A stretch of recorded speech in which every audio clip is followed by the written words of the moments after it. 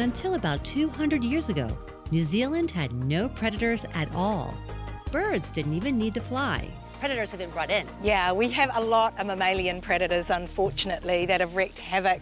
Now, not these predators, or these, which you can see here in the most beautiful habitats. Tapping into the Auckland Zoo. The Auckland Zoo is using their backbone to reach out to the world in conservation. These are all native New Zealand Yep. plants. Here we are in Te Wao Nui. We want to ensure that they thrive and survive into the future.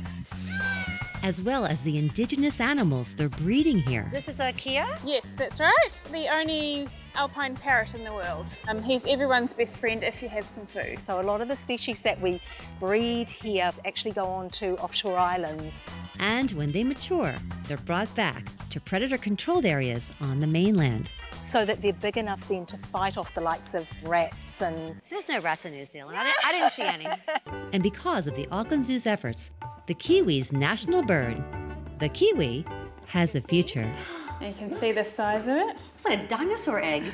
It's like giving birth to a 35 pound baby. That's crazy. So the chick is 18 days old today. Yeah.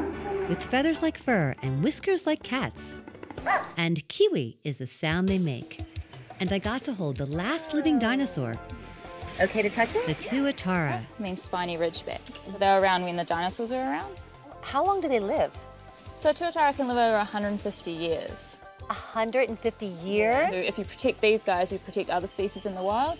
Even big bugs that nurture the forest, like the giant wetapunga. That is huge. Yeah, or a giant weta.